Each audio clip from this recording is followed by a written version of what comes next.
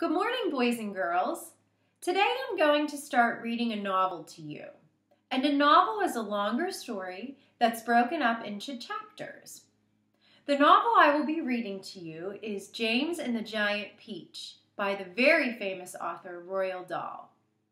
This is chapter one. Until he was four years old, James Henry Trotter had a happy life. He lived peacefully with his mother and father in a beautiful house beside the sea.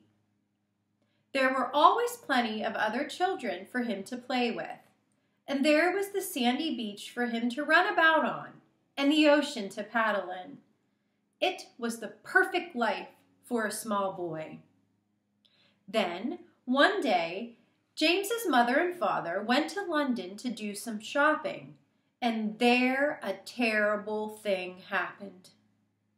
Both of them suddenly got eaten up, in full daylight, mind you, and on a crowded street, by an enormous, angry rhinoceros, which had escaped from the London Zoo. Now, this, as you can well imagine, was a rather nasty experience for two such gentle parents. But in the long run, it was far nastier for James than it was for them. Their troubles were all over in a jiffy. They were dead and gone in 35 seconds flat. Poor James, on the other hand, was still very much alive.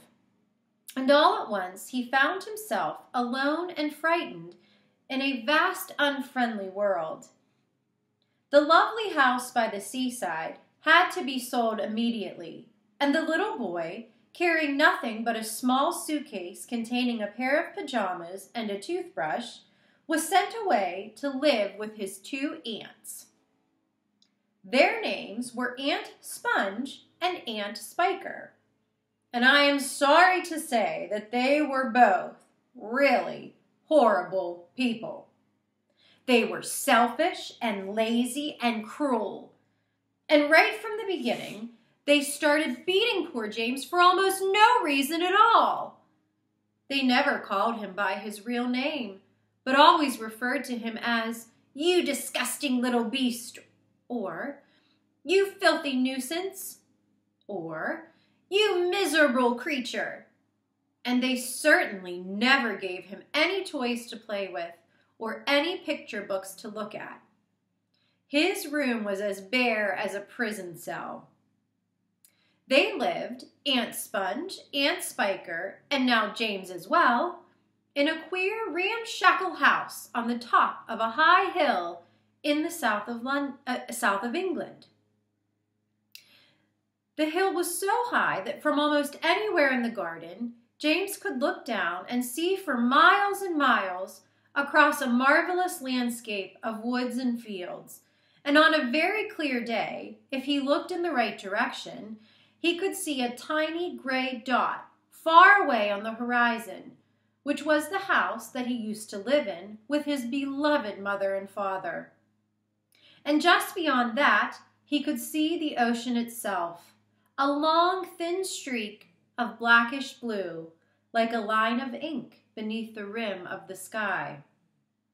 But James was never allowed to go down off the top of that hill.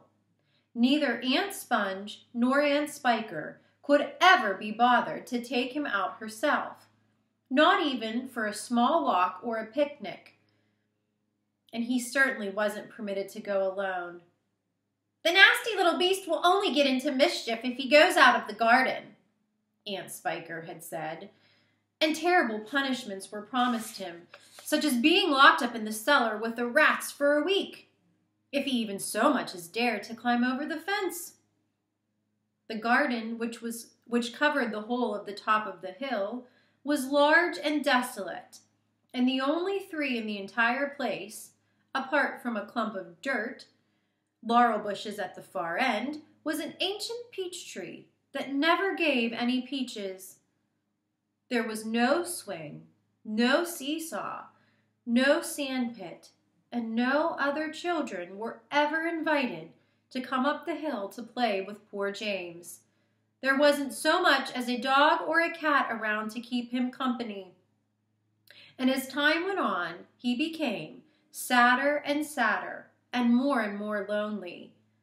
And he used to spend hours every day standing at the bottom of the garden, gazing wistfully at the lovely but forbidden world of woods and fields and ocean that was spread out below him like a magic carpet.